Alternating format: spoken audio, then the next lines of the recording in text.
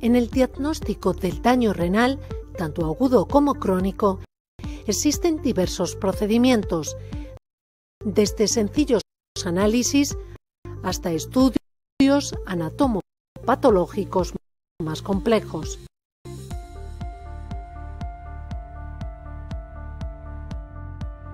De forma habitual, en la práctica clínica se evalúan los marcadores creatinina y urea en sangre.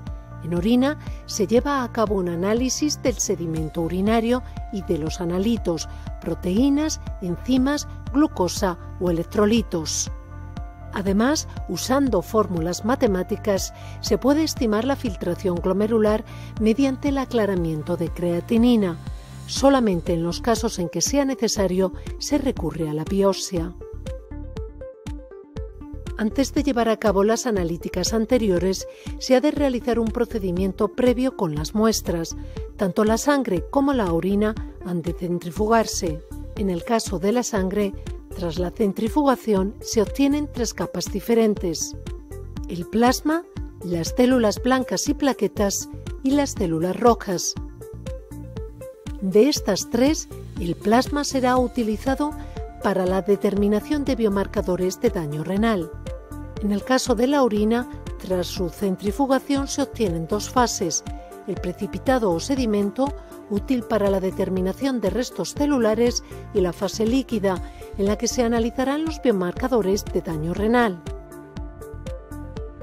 En clínica, tanto el plasma como la orina se analizan mediante el uso de analizadores automatizados que permiten obtener datos de varios biomarcadores en un corto periodo de tiempo.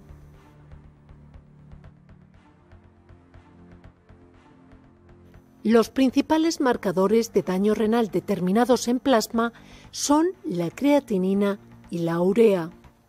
La creatinina es un producto endógeno formado a partir de aminoácidos procedente del catabolismo proteico.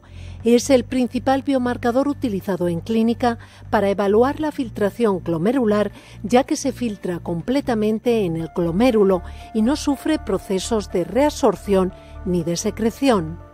Por lo tanto, si la filtración glomerular se daña, la excreción de creatinina disminuye y se concentra en plasma.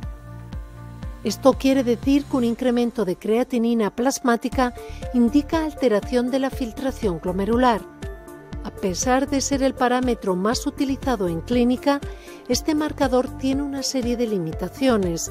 La más importante es el hecho de que sus valores no se elevan hasta que la filtración glomerular no ha descendido hasta al menos un 50% de su capacidad. La urea procede del metabolismo proteico realizado en el hígado, desde donde se libera a la sangre. Una vez en los riñones, es filtrado casi en su totalidad y eliminado por la orina. Al igual que la creatinina, apenas sufre procesos de reabsorción y de secreción y también aparece incrementado en sangre cuando el daño renal ya se ha establecido.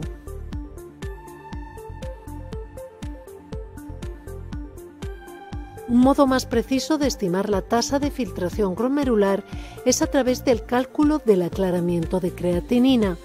Para ello se utilizan fórmulas matemáticas que toman como base los valores de la concentración plasmática de creatinina junto con otros datos del paciente como la edad y el sexo.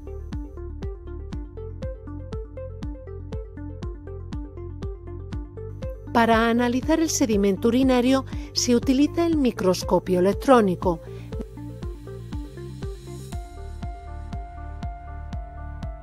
La presencia de células epiteliales indica que existe una lesión renal, mientras que la presencia de células sanguíneas es consecuencia de una infección.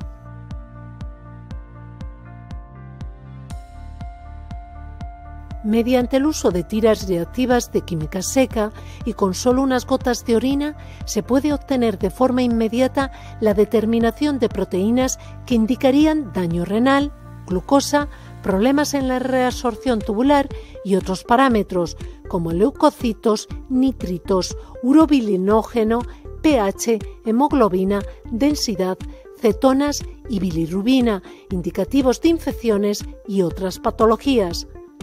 Pero a través de esta técnica solamente podemos saber si hay presencia o no del marcador, no la cantidad del mismo.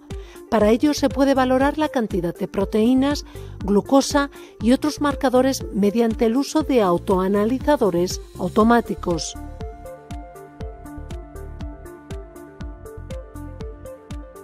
Una elevada concentración de glucosa en la orina o glucosuria, mientras que la concentración plasmática es normal, puede estar relacionada con defectos de reabsorción de los azúcares en el túbulo proximal, causados por un tóxico o secundaria a hiperglucemia.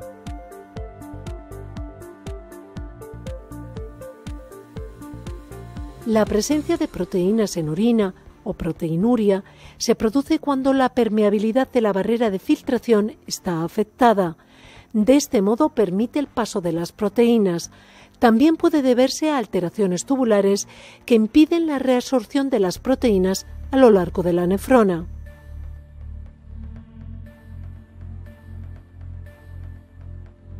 La obtención de muestras de tejido renal mediante biopsia es muy útil para identificar la localización, la naturaleza y la intensidad de la lesión nefrotóxica. Sin embargo, su uso está muy restringido por la dificultad y el peligro que entraña.